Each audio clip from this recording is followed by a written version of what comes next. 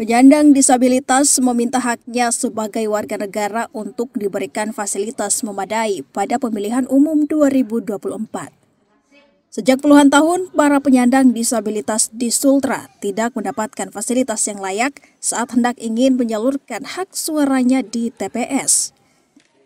Tak hanya itu, hingga saat ini, pihak KPU kota maupun provinsi belum melakukan sosialisasi kepada seluruh penyandang disabilitas di Sultra yang selama ini kalau untuk di Kendari belum ada. Sulawesi Tenggara malah kayaknya belum ada itu.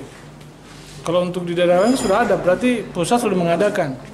Tinggal bagaimana KPU Sulawesi Tenggara memediasi itu supaya ini harus diadakan.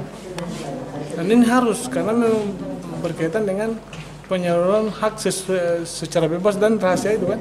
Hmm.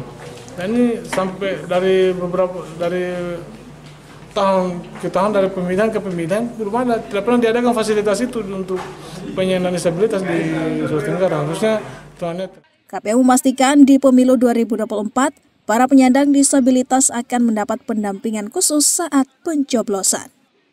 KPU itu sendiri. Ya sesuai ketentuan selama mereka tidak bisa melakukan pencoblosan sendiri itu akan ada pendamping tetapi selama mereka masih bisa memilih sendiri itu tidak perlu didampingi. Kalau didampingi eh, tentu pendamping ini harus membuat eh, surat pernyataan. Surat C pernyataan C3 kalau dulu namanya C3 pernyataan itu untuk menyatakan bahwa untuk tidak membocorkan merahasiakan pilihan. Nah untuk tunanetra itu punya alat bantu sendiri eh, yang basis ininya untuk template huruf braille itu tapi baru dipenuhi dua jenis pemilihan yaitu DPD dan Presiden.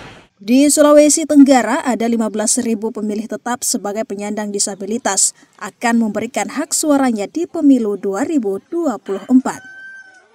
Deng Raim melaporkan dari Kota Kendari.